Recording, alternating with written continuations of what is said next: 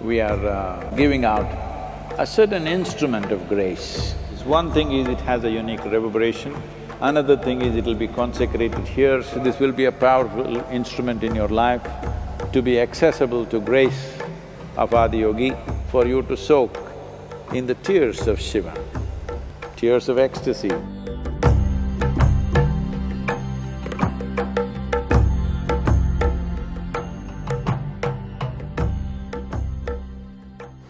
Namaskaram Sadhguru. This question is from Dhananjay from Delhi.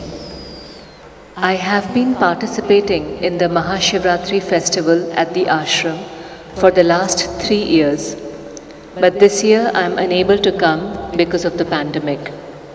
Can you please guide me on how I can receive the grace of Adiyogi in 2021 without being in his presence? Is there a tool or sadhana that I can make use of? Physical presence has its, you know, has its own significance, but if your interest is receiving grace, wherever you are, it's possible. So this time, largely, this Mahashivratri will be largely online. That means you don't have to take the trouble of traveling. We will come to you in so many different ways and uh, please be available. We are, uh, you know, like uh, giving out a certain instrument of grace. This is a certain consecrated Rudraksh bead. The legend says Rudraksh is actually the tears of Shiva. So Shiva sat in a meditative state for a very long time.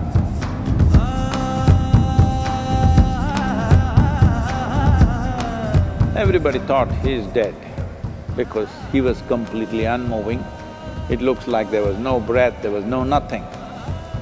But off and on, tears of ecstasy dribbled out of his eyes.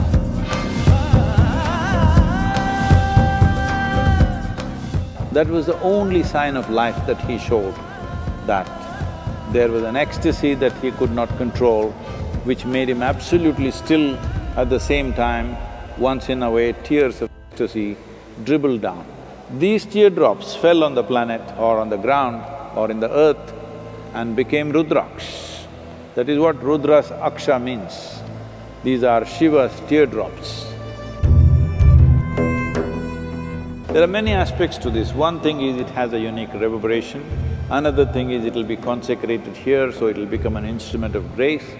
But it is also symbolism. The idea of wearing Rudraksh, the ascetics always wear Rudraksh because of all the creatures on this planet, from the virus to the bacteria, all the microbes, the worms, insects, plants, trees, birds, animals,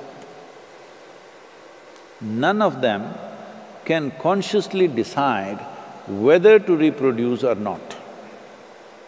It just happens.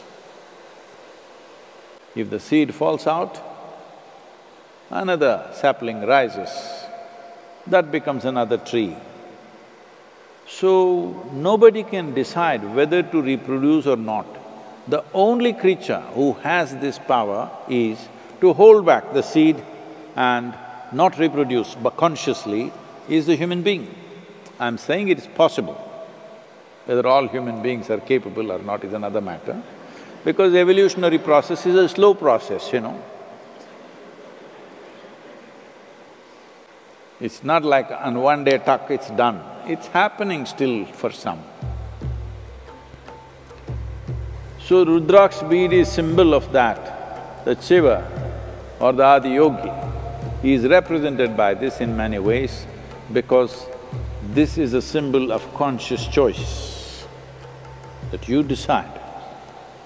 The base processes of life, of eating, reproductive nature, sleeping, all these things you decide.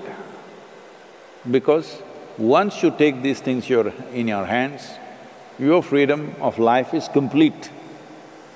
If food, drink, excretion, reproduction and sleep if these five things come into your hands, conscious hands, it's done, life, everything is free. So, Rudraksh bead represents that dimension that you have chosen to become a conscious human being. It has its health and other benefits, that's a different matter. But one simple thing that you're telling yourself and everybody is, when I wear Rudraksh, I am a conscious being. I've decided what is a compulsive activity for every other creature on this planet. For me, it is a conscious process. So, a Rudraksh bead which is consecrated in a certain way, which is… Uh, will be on Adiyogi for some time,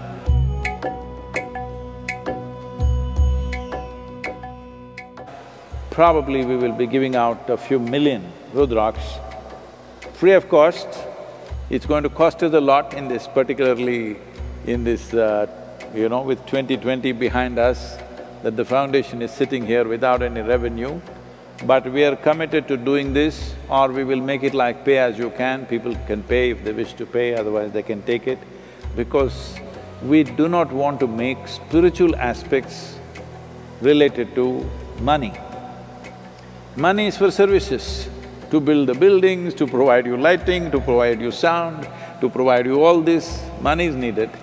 Spiritual process, you know, they're not paying me anything, do you know this? It's okay because I decided not to make profit in my life. I have a tango going, not a transaction. I have a tango both with Adiyogi and you, so no transaction, all right? For the spiritual element, there is no transaction.